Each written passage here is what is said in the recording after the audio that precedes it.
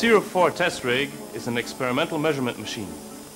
It has been conceived in support of the Philips research program for ASML on scanning lithography in general and stage synchronization in particular. It comprises a wafer stage, a reticle stage, and three measurement systems, namely continuous TTL alignment, twin interferometry, and differential interferometry. The machine is equipped with a G-line 4X lens for the TTL metrology system. The machine is based in layout on the PAS 5500 machine. Like the PAS 5500, highly compliant air mounts are used to support the main plate, which in turn serves as a metrology frame. The air mounts, shown here in red, act as vibration isolation between the metrology frame in gray and the external surroundings. The wafer stage actuation is based on the patented cage stage principle. The actuation consists of a fine and a coarse positioning system.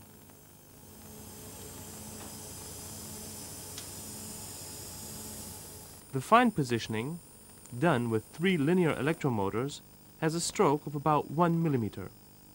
There are no mechanical guides touching the stage.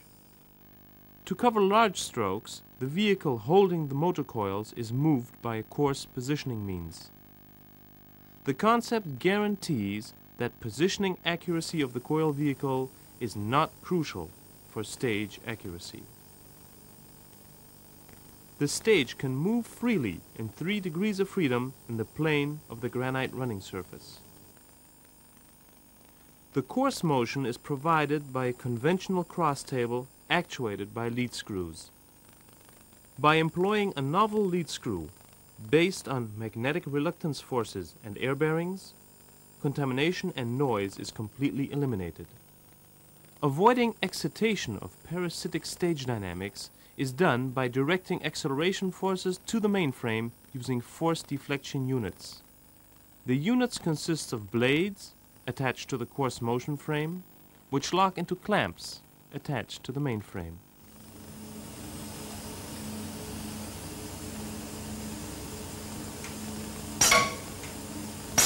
And now it's clamped. The stage can perform 30 millimeter steps within 160 milliseconds.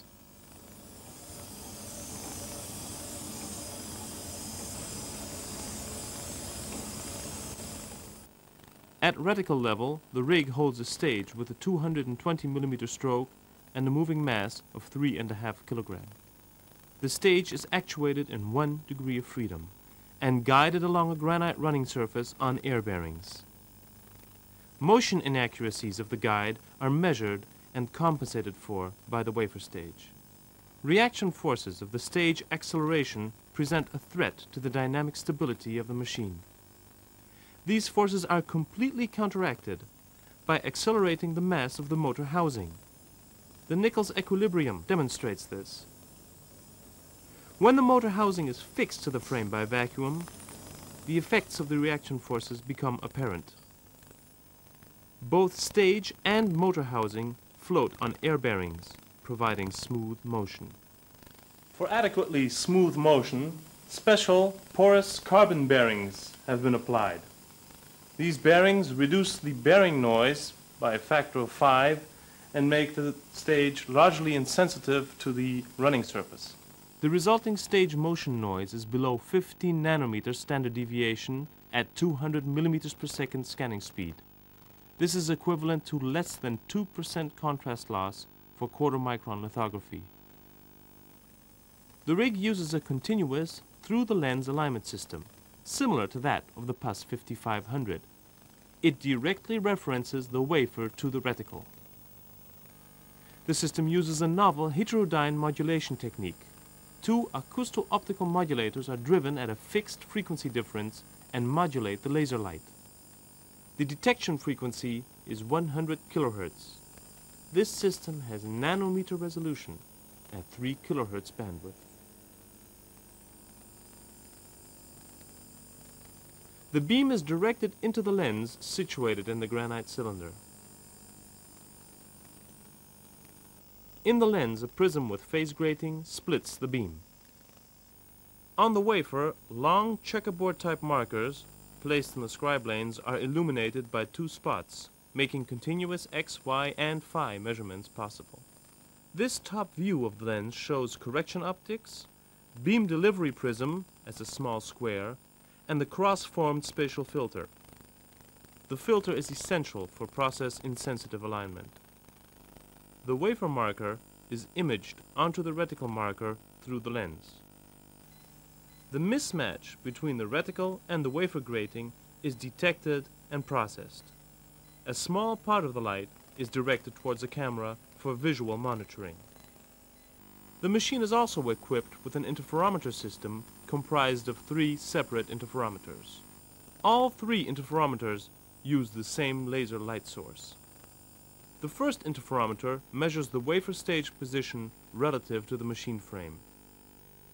The second one does the same for the reticle stage. Synchronization is achieved by subtracting the two in the control processor. The third is a differential interferometer. It measures the position difference between the stages and yields a direct measure for the stage synchronization. In order to compare the two synchronization methods, all three interferometer signals are measured simultaneously. This allows investigations into electronic jitter and frame stability. The interferometer systems, shown here at reticle level, measure both stages and all three plane degrees of freedom. Stage motion is controlled using digital signal processor boards based on the Texas TMS320C50 processors.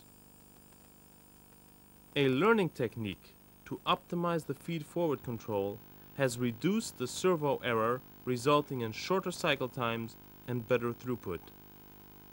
The upper graph shows a typical step using conventional feed-forward, the lower uses an optimized feed-forward. When the rig performs synchronized scans at 100 millimeters per second, the servo overlay error is below 5 nanometers and motion noise is below 15 nanometers standard deviation.